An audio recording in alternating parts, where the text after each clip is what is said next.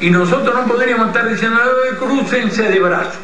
Porque este país se defiende con su idea, con su dignidad, con su patriotismo. No es con armas que se defiende. Y nuestro adversario no es la isla de la juventud. Nuestro adversario es la potencia más poderosa que ha existido jamás. Yo, Felipe, Y cuyo método de improvisar el procesito, creo conoce. este tipo de barba, tiene 74 años, Sí. también va a morir un día. Sí, Lo, ¿Qué va a pasar?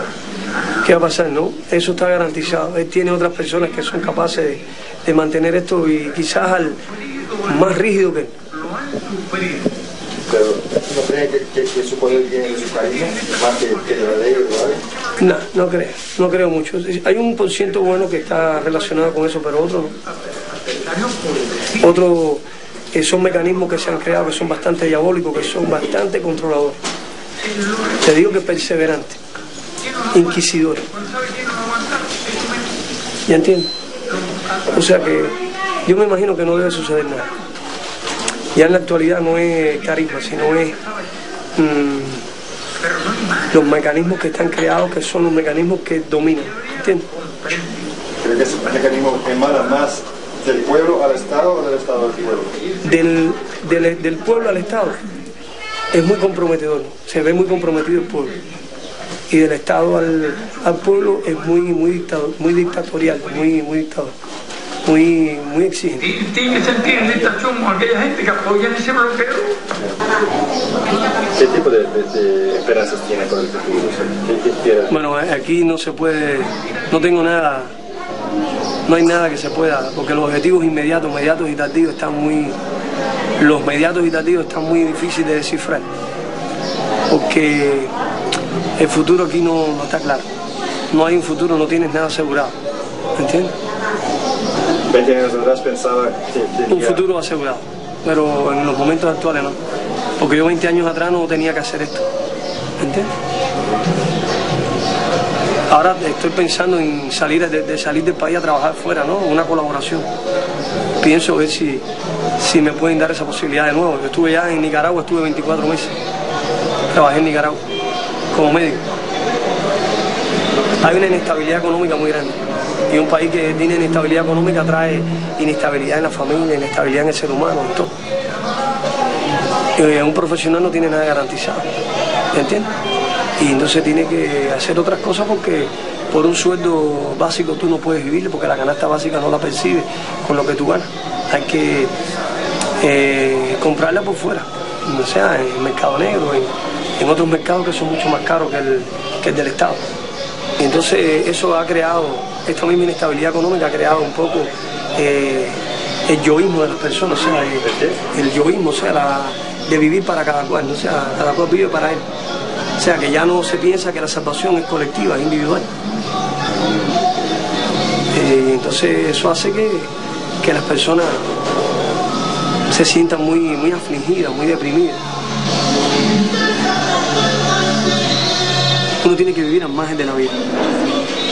Porque si no, eres, eres un víctima de él. Aquí eres un víctima de él. Tienes que vivir al margen. Y así, con- viviendo así, a veces que tienes problemas. Que viviendo a veces así, sin, sin meterte con nadie, a veces que puedes tener problemas. Hay que ser muy inteligente. Eso pues. Hay que ser muy inteligente. Si no, te, te puedes buscar grandes problemas. Y es mejor no tener problemas en la vida. Vivir y tratar de vivir. Pero eh, hago una pregunta un poco provocativa, pero muy respetuosa. Eh, eh, ¿Eso no, no te pone en, un- en una situación un poco, un poco doble, doble moralizada? No, al contrario. Eh, ustedes saben que están la gente que son activos y otros que son pasivos. Me considero de los reactivos pasivos. No tengo por qué.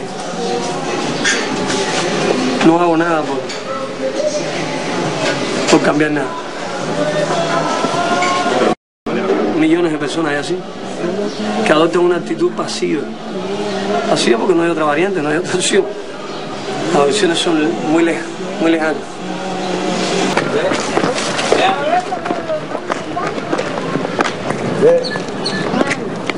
Mira, te va a retratar la casa ahora para que veas cómo está. Que. Se está cayendo. Me retrate en la casa y a mí también si quiere, porque Mira, mira, ahí te van a retratar ya. de dónde vas a la que está.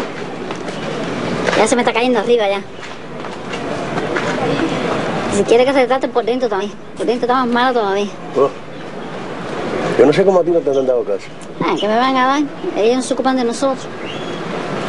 Y si está mala, que está de demolición. Demolición, vete a la reforma urbana que tengo una casa, eh, Ah, demolición, pero... reforma- o sea, tú, o sea, yo he ido a reforma urbana, ya yo sé dónde voy a ir ya. Donde quiera que voy me dice lo mismo. Ya yo, ya yo no pido más nada, ni digo más nada, porque total. Todo lo que dicen ellos es, no hay nada, no hay nada.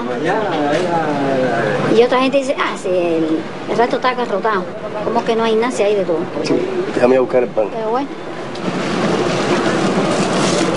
Dime, Candelo. Dímelo.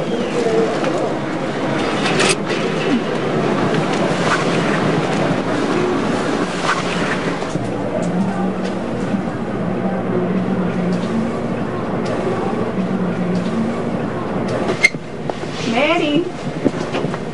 Mary.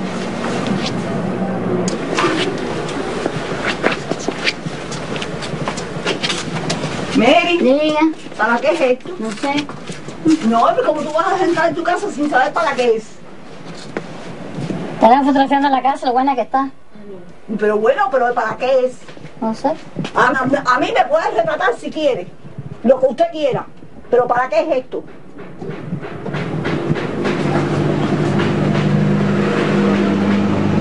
Fíjate, Mary, aceptaste lo que no debías aceptar.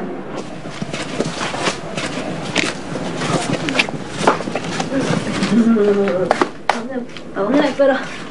¿Y estos huevos de acá? Eso para que las mata, para que no se coman las matas. ¿Y estos libros todos? ¿Quién, quién, quién los libros? Ah, el compañero. Te ha buscado tú un problema con meter a la gente aquí dentro de la casa que ya que saque película. Tú no sabes lo que puede dar la película esa. Ah, no sé, por la casa. No, por la casa por nada. Por la casa por nada. Tú no sabes qué, hacer, qué puede salir de tu afuera. Y te vas a buscar tremendo problema. Te vas a buscar tremendo problema. No te preocupes, señor, espero bien, entiendo. No te preocupes, te juro, no soy espía, no soy americano. No, soy yo no sé si tú eres espía, eres americano, pero yo no sé el uso que tú le vas a dar a eso. Y tú te vas para Brasil y yo me quedo aquí. ¿Entiendes? ¿Qué podría pasar? No, yo no sé lo que podría pasar, pero de bueno no pasaría nada. Entonces, ¿cuál sería el problema? Además porque yo no sé el uso que usted le va a dar a esto. ¿Pero qué uso podría ser que no, que no sea lo mismo que, que está viendo? Él es, propietario, de esta casa. Entonces, eh, usted no es la propietaria de esa casa. No, no, él. ¿Sí? Pero, pero nosotros vivimos aquí con él, porque él es el padre de mis hijas. Ah, sí. Para tu hija no, no es Y él, y él nunca se ocupaba tampoco ni de arreglar esta casa. Y mira los huecos que hay por arriba. Ah, por, por aquí se ve mejor. Lo he visto. Pero cu- cuando llueve, entonces debe ser un problema, ¿no? Ay, ay, ay. Cuente cómo es. Es por aquí. Allá como, el botazo es. Eh, La señora, ¿qué esperanza tienes de, de poder resolver esa situación? Ah, es. Mi. Entonces, ¿qué vas a hacer? Aquí, Sí, aquí hasta que Dios quiera. si Dios quiera. Pero te gustaría cambiarlo. Ah, claro. ¿A quién le gustaría vi- vivir por lo menos y que sea una mujer? No tengo esperanza ninguna.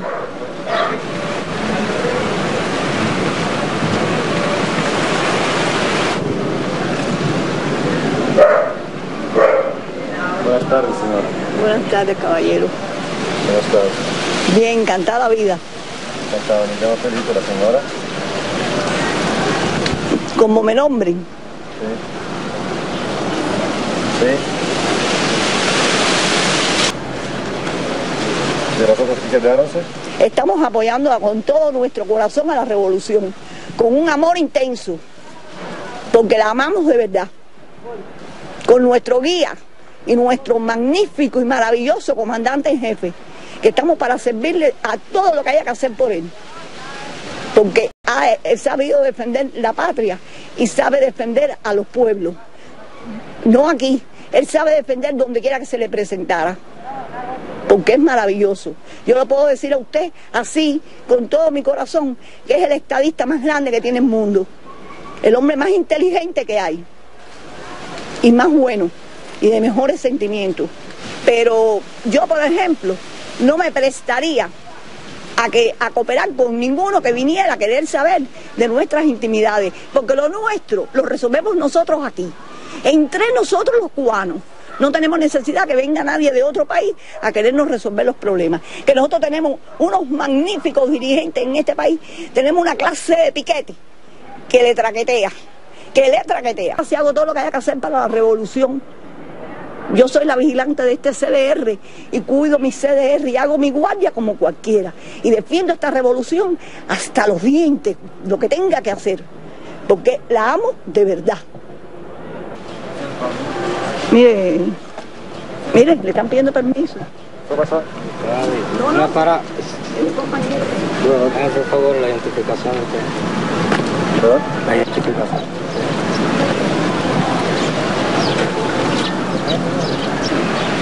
Tú eres cubano. Tú me dijiste- Sí, yo le hice así. No, tú me dijiste que tú, que tú estabas mudo, no me quisiste hablar. Te dije, tú eres cubano, me dijiste. Y él Le dijo no. así, señora. Y, y él me dijo que él es brasileño. Señora, dice así, que me estaba diciendo que yo era de aquí, Sí, sí. pero que no podía hablar porque ¿Por qué no por te prohibió hablar? Porque quiere solamente Usted está aquí como turista. Sí. Pero me ha hecho tremenda entrevista. Y no a mí, que, que no me interesa, porque yo, como amo la revolución como la amo, no me importa lo que tenga que decir. Pero allá adentro, se entraron, esta señora los dejó entrar hasta dentro de la casa y retrataron toda la casa por dentro y por fuera. Compañero, ¿cómo estamos? Juan Antonio Caballero.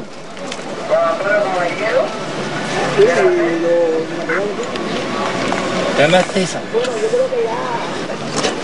Sí, positivo. Dice que el otro no lo dejaba, no le permitió que hablara. No le permite hablar. ¿El turista que no le permite hablar? Sí, le dijo a la ciudadana que estaba en la, entrev- en la entrevista que no, que no podía hablar, que él, o sea, que le, le hizo señas que no podía hablar, como si fuera mudo. Que se encontraba haciendo este cubano para turista. Correcto. ¿Me hacen el favor? ¿Puedo comunicarme con la embajada, por favor? No, eso se hace a través de la comunidad policial. ¿Pues mis documentos? No, el documento es mío hasta que yo se lo entregue a vamos. No, necesito forzar. ¿no? No, no hay fuerza. Sí, hay fuerza. No, no hay fuerza. No hay Si se necesita, se hace, si no, no.